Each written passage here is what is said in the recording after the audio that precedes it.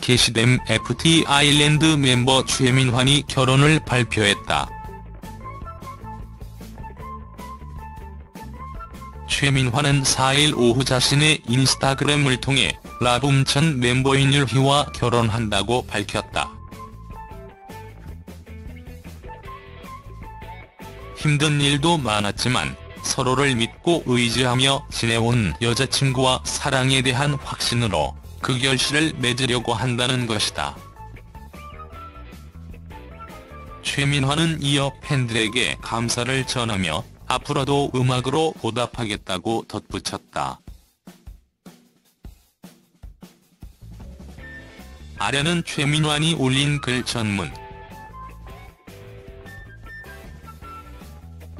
두 사람의 열애 소식은 유리가 지난해 9월 자신의 페이스북에 최민환과 찍은 사진과 글을 올리며 처음 공개된 바 있다. FT 아일랜드의 소속사 FNC 엔터테인먼트는 공식 보도자료를 통해 두 사람이 연내로 결혼할 예정이라고 밝혔다. 두 사람의 결혼 소식이 전해지자 FT 아일랜드 멤버 이재진은 형들을 제치고 제일 먼저 행복의 길로 들어선다며 최민환에게 축하 메시지를 전했다.